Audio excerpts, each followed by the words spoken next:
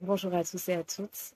Je suis Juliane Landrieux et j'ai l'immense plaisir aujourd'hui de vous lire un extrait du nouveau livre de Yael Catherine Buck qui s'intitule Unité et de contribuer à faire connaître ce nouveau livre qui est une auto-édition de la part de Yael.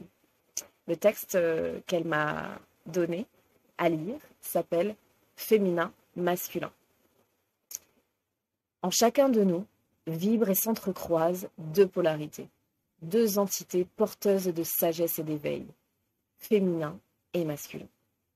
L'une et l'autre se donnent la main, apprennent ensemble à s'épauler, à mettre en lumière réciproquement l'autre polarité, l'aidant à prendre plus d'ampleur, plus d'aisance et de place.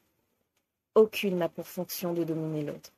Elle cherche l'osmose, l'équilibre parfait, la femme en moi réceptionne avec amour et joie son masculin et son féminin, les célèbre et voit leur beauté sacrée. J'implore le pardon de celui qui a été offensé et de son offenseur.